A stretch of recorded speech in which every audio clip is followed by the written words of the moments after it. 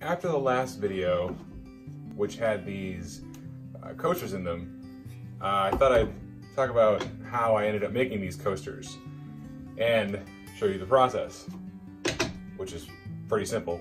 Uh, so a while ago, I was at the lumber yard and they had this wood called Kentucky Coffee Bean. And I thought, oh, it'd be kind of cool to make coffee table out of coffee wood.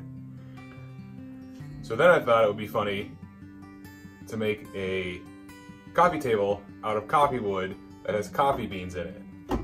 So I did that, but the problem is it turned out like crap. I have, a video for it, but it this came out so bad that I don't even know if I want to want to bother making it. Um, the the epoxy is is looks milky, but it's not milky. It's just all these tiny bubbles that formed during the epoxy, and it's not even that thick of a pour. Um, and I made these half lap legs, which are not sturdy, not very sturdy at all. They're attached with threaded inserts and a washer and a bolt. Um, so anyway, in this video, I'm going to show you how I made these coasters and embedded coffee beans in them. And I just had plenty of scrap wood left over from this table that I decided to to make these at the same time. And it was also the first time I was had poured epoxy. Um, so I wanted to practice on something, so I decided the coasters would give me a good practice run. These still have some bubbles in it, um, but not nearly as much as the coffee table.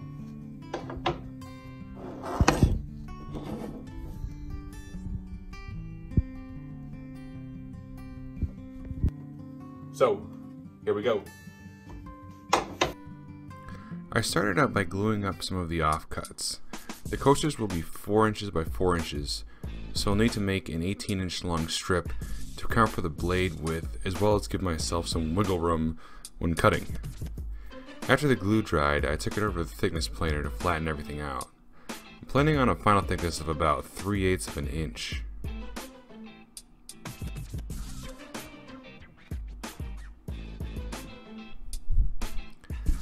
Then over at the table saw, I squared up both ends using a miter gauge. I don't show it, but I also ripped the piece down into two equal width strips. Covered a section of plywood with Tyvek tape. Then I cut two sections of plexiglass for each end and glued them in place with a hot glue gun. Then I hot glued down the length of each strip to lock them in place and to create a seal.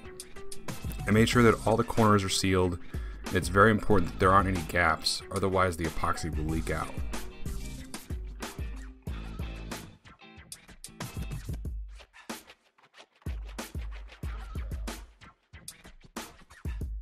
Here, I'm mixing the resin and the hardener.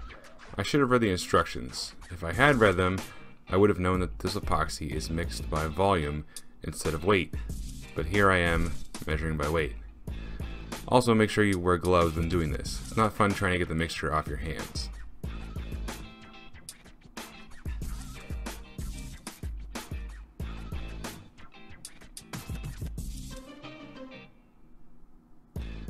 Then you're going to want to mix until your arm feels it's going to fall off.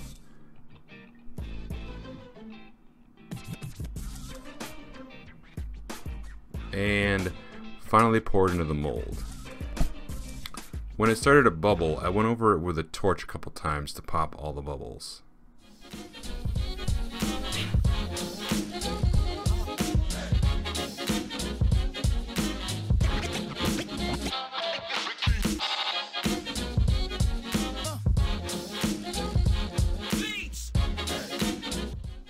Removing everything involved a utility knife to cut away the hot glue and a chisel to pry it off of plywood.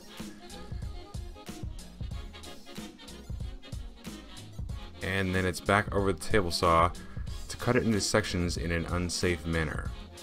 I should have definitely used a stop block here so the piece didn't kick back.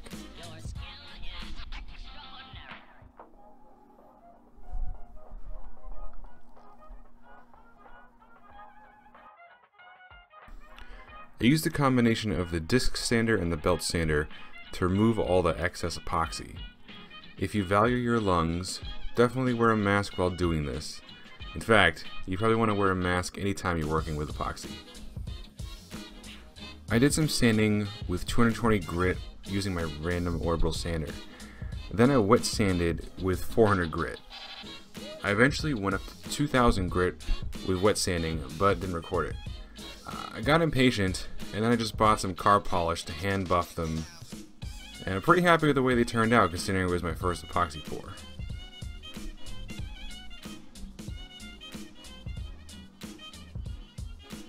To finish up, I hit him with a few coats of spray lacquer and called it a day.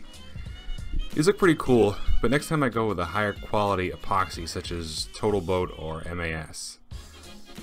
If you're still watching at this point, let me know in the comments down below if you want me to put out the video of the coffee table build. Thanks for watching, don't forget to check out the links in the description below, and I'll see you in the next video.